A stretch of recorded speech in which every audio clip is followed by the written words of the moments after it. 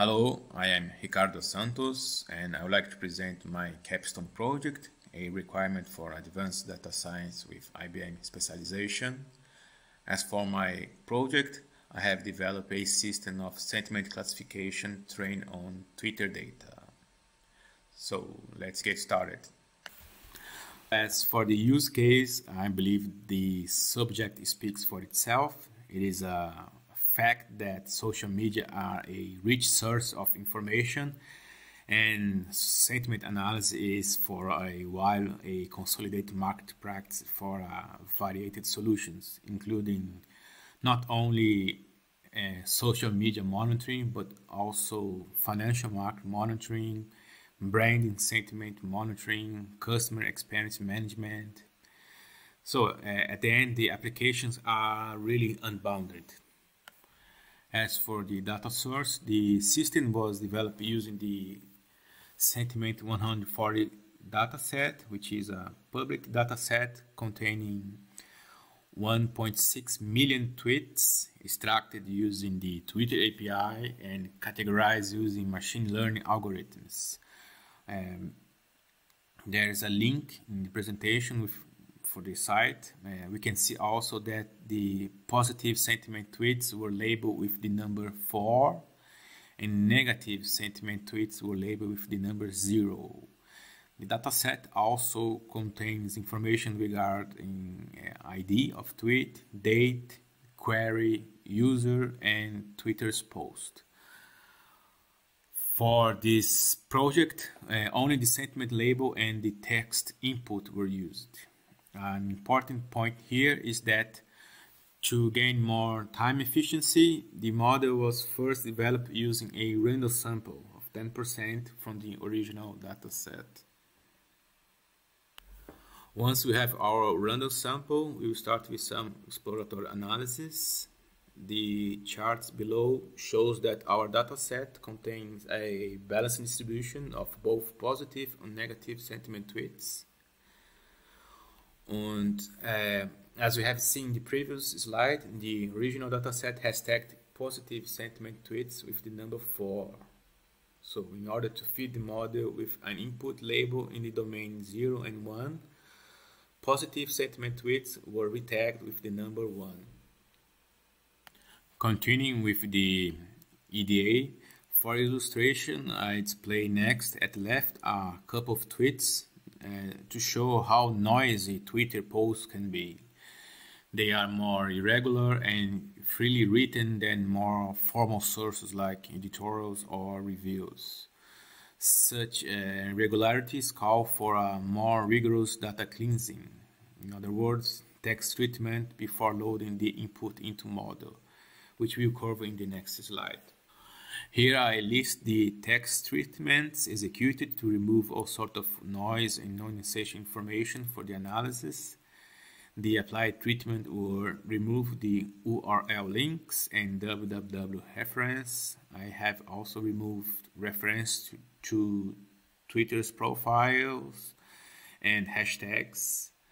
I have removed also numbers and symbols and potential excess of white spaces. The chart below shows that after cleaning the text, we see no significant change in Twitter in tweets uh, character length distribution, indicating that no relevant loss of information has occurred. Continuing with the EDA, we see here the 100 most frequent words found in positive and negative sentiment tweets. What is interesting here is that we see a correlation between the meaning of the word and the sentiment associated with it. We can see, for example, in the positive word cloud, words like uh, glad, welcome, funny, enjoying. And in the negative word cloud, we see words like sad, sick, headache, lost, and this all may seem uh, a bit obvious, and it is, but this correlation is very important because this is how the computer will learn to differentiate the sentiment across the tweets. And just to give a counter example, sentiment analysis systems have a hard time to identify and correctly classify text with irony. Why? Because exactly such texts lack the so mentioned correlation between the word meaning and the sentiment. Here we see the ETL overview where I highlighted the main actions taken. In terms of extraction, the data was extracted to a file storage service in case Google Drive, but we, could also have used uh, object storage as well. In terms of transformations, we have already covered the sentiment retagging and the tweets text treatment. There are two more transformations needed, the tokenization and padding that we will cover in the next slide. As for the loading part, the dataset was split in training set and test set in proportion 8 to 20 before loading it into the model as the best practice dictates. Two necessary transformations that were not yet covered are the tokenization and padding. Tokenization is the process of converting each word in the tweet to a unique number. This is a necessary step because computers learn words through numbers, not characters. Luckily, such tasks can be performed using TensorFlow's method. I have highlighted here that an important decision point was made during these transformations regarding the size of vocabulary used. The problem here is that vocabulary size is an input for the model. So the larger the vocabulary size, the higher the number of estimated parameters. On the other hand, a smaller vocabulary size means a loss of information. I have done some research and it is estimated that an average English speaker uses around 20 to 40,000 words. So for precautions, I have set uh, vocabulary size, consider the 65,000 more important words. The another necessary transformation here is padding, which simply is the normalization of the length of each tokenizing tweet by completing the vector of integers with zeros. Padding was performed using the Keras module. For modeling the sentiment, I have chosen as baseline model the long short-term memory network, in short LSTM, which is a special type of recurrent neural network very used for natural language process tasks. And to challenge the baseline model, a convolutional neural network, in short CNN, and a hybrid LSTM CNN model were chosen. CNNs are a class of feed-forward neural network, also very used in natural language process tasks. Um, here below we can see the model specifications in, in, this first phase. I choose the most simple uh, specification for all models. We can see here also that uh, since we are developing a binary classification system, the sigmoid activation function was chosen and activating for the three models. Here we see further specifications that were set uh, equal across the three models. For the loss function, the binary cross entropy function was chosen. I chose the Adam optimizer algorithm. The batch, batch size was set to 32 and 10 epochs were used. We see here also the model's summary. Each model has a relatively high number of parameters, around 8.5 million parameters. And this happens due to vocabulary input in the first embedded layer, as we can see here up in the first line, as we have seen before in the tokenization section. So here we can see the training and evaluation results for the three models. Uh, a couple of remarks here. First, each model reaches a relatively high accuracy in the training set after just two to three epochs.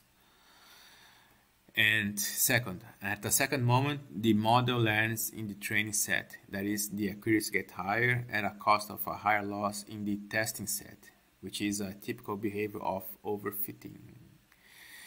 Mm, the model's results are summarized in these small tables here at the right. Overall, the results are very similar, but the CNN model's execution was faster, also with a higher accuracy. In the slide here, the CNN model was revisited to increase its performance. Uh, a couple of different layers was tested and at the final we could reach an increase in the CNN mod uh, model's accuracy in the testing set without any effect in its processing time. And as a final exercise, uh, the whole process was re-executed using this time the full 1 1.6 million tweets dataset. Uh, the results sh uh, show that the final CNN model has shown no increase in its accuracy using this full dataset. As an application and also for benchmarking, the proposed system was compared with an on-market sentiment analysis tool. The Vader was used for comparison for a couple of sentences, it was assessed uh, how both systems classify its sentiment. At the left, I have freely written some sentence, and at the right, we have how both systems classify the sentence. the decision rule for the proposed system was uh, predictions uh, above 5,5, 0.5 were tagged positive and otherwise it were tagged negative. For the Vader, the decision rule was slightly different because the Vader algorithms returns four classes of sentiments positive, negative, neutral, and compound class. So the decision rule for this system was if the compound predicted value is above zero, then the sentence is tagged positive, otherwise it is tagged negative. and we can see that in general the results were very similar in both systems which is a, a pretty good result. To summarize with some final comments, we saw that the system for sentiment classification based on the CNN model has presented good results in the testing set, around 80%. For a prototype, I'm very comfortable with this number. After training different and model specifications, I have arrived to an important conclusion that in sentiment analysis is more what the data can show than the model itself. And what I meant by that is that a very important task here is text treatment. The more efforts one spent in this step, the better we find the model will be.